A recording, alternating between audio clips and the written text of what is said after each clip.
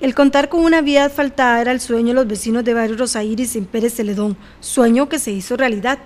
La adjudicación se realizó el año pasado tras un informe de la Comisión de Licitaciones. El Consejo Municipal de Pérez Celedón aprobó adjudicar este proyecto a la empresa Quebradores del Sur, con una inversión de más de 56 millones de colones.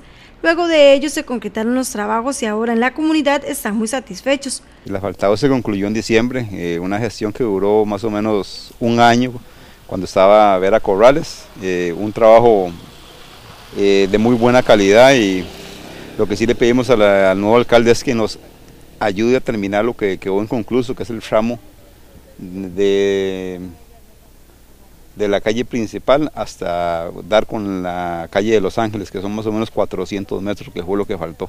Marvin Martínez, presidente de la Asociación de Desarrollo de la localidad, indicó que se mejoraron 362 metros y que ahora no sufren por el mal estado de la vía. Y para nosotros y para mucha gente que, tenemos vehículos ha sido un alivio porque ya los carros no se golpean, no hay tanto hueco y, y realmente se siente la diferencia, se ve más, más cómodo el barrio, se ve con más progreso y esperamos que ese trabajo nos dure muchos años. Bueno, y no solo para los que tienen vehículos, los dueños de las casas, las familias ya no van a tragar ese polvazal también. Es correcto, eso es una, una de las partes que la gente se ha visto beneficiada no tener polvo. No tener polvo y que no hay, no hay mucha, mucha agua, mucho charco en la que se hacía en el invierno, entonces eso nos ha ayudado mucho. Para contar con el proyecto se lucharon más de 20 años. Gracias a Dios un año.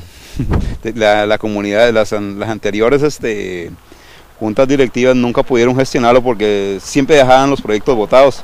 Esta vez este, un grupo de personas este, logramos, yo creo que eso fue un tiempo récord, eso lo hicimos en un año gracias a las gestiones de Boñavera.